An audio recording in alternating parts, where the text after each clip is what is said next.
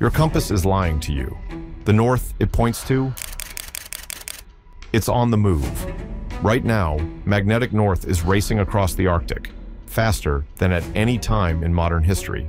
Should we be worried? Let's see. What's happening? Every phone, every plane, every ship depends on Earth's magnetic field. Even birds and turtles use it to migrate. But the field isn't fixed. The North Pole is sliding from Canada to Siberia, around 60 kilometers each year. That's like moving the length of a city every single day.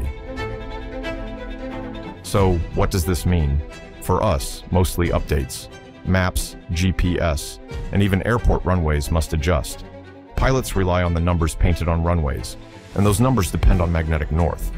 But the magnetic field does more than guide compasses. It's a shield. It blocks dangerous radiation from the sun and from space. Without it, satellites would glitch. Power grids could fail. Astronauts would face higher risks. And here's something wild. The poles have flipped before, many times. The last big one, about 780,000 years ago. Sometimes the field doesn't flip, but just weakens. Like 41,000 years ago, during the Laschamp event. The shield dropped to just 10% of its strength. Now, should we worry? No. The field is changing, yes. It's weaker over parts of South America and Africa, but scientists don't see signs of an immediate flip. Earth's field has always shifted, and life has always found a way through. So, the next time you use a compass or GPS, think about it. You're tapping into a living, moving shield.